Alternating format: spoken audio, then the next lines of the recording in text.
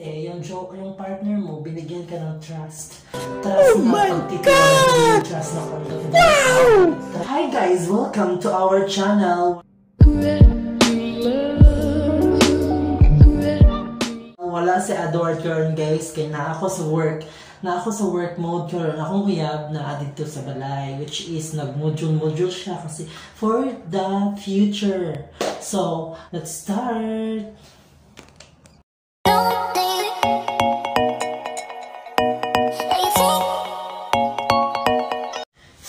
Magsa-start po tayo ng tip number one. Tip number one ay dapat maging kontento kung anong meron ka. Anong meron sa relasyon nyo, anong meron sa mga relasyon na anong meron kayo or maganda ba siya or pangit, be contented. Dapat mag maging kontento tayo kung anong meron tayo. Kasi kapag maging kontento tayo, magaan masyado sa pakiramdam na lagi mo siyang nakikita, lagi mo siyang na-appreciate sa lahat ng mga bagay na ginagawa niya. So, kailangan po natin maging kontento sa bagay na kung anong meron ta tayo. So, pangalawa. Pangalawa is yung huwag kang gumawa ng mga bagay-bagay na ikakasama niya. Like example, yung alam mo namang seloso ang jowa mo, di ba? Hindi, hindi, hindi natin ma tatanggihan na merong selos na mangyayari sa relasyon kasi part yan ng relasyon. Dapat iwasan mo ang mga bagay na dapat ayaw niya. So, tip number 3. Tip number 3 para ito sa mga taong mahilig gumala. So, mahilig sa mga fun time, yung mga inom-inom dyan na tabi, or party-party time.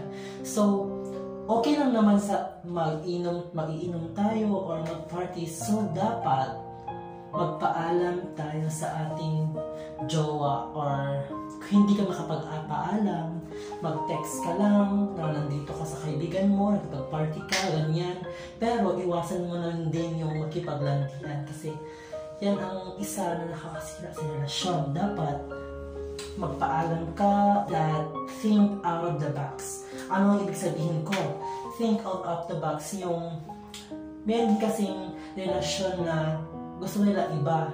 Yung iba ang mga hindi katulad ng ibang yung mga relationship goals sa kanila gusto nila iba so dapat maging open-minded ka or think out of the box kasi ganyan po talaga relasyon iba-ibang relasyon so ganyan ang tip ko number 4 sa iyo kailangan mong think out of the box so kung hindi ka ganyan mag-adjust ka na lang last but not the least tips number 5 bigyan mo siya ng freedom freedom na kapag makapasyal siya, makapaggala siya, makapagpunta siya sa kahit saan. Kasi alam mo, before kayo nagkakakilala, kilala na po ang mga kaibigan niya. Kilala niya na ang mga magulang niya. Siyempre, magulang niya yun. May kilala siyang iba. So, dapat, kailangan mo bigyan ng freedom.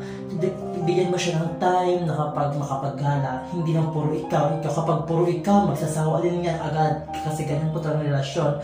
We need give gives, gives, gives. Kahit wala tayong natatanggap, give lang, give pa rin tayo. Pero huwag lang po tayong magpa sobra ng bigay. Kasi sobra ng bigay, alam mo na ang mangyayari sa'yo. Hindi ka mabibigyan ng pabalik. So, masakit din yon So, dapat give time and space. Okay guys, yan na muna ang mga tips na ibibigay ko sa inyo para magtagal kayo ng jowa mo. Kung meron man akong hindi nasabi, hindi man nabanggit, kayo nang bahala doon. Kasi may relasyon ako, ay mga relasyon, yung karelasyon ko ngayon, yan ang ginagawa ko sa relasyon ko. Yung tips na yan, na iniiwasan ko lagi. So, dapat kapag gusto mo magtagal kayo, maging kontento ka. Huwag kang maghanap na iba kasi lahat tayo ay unique. Thank you for watching guys. Don't forget to like, click the notification bell, and subscribe. Don't you worry, I will subscribe.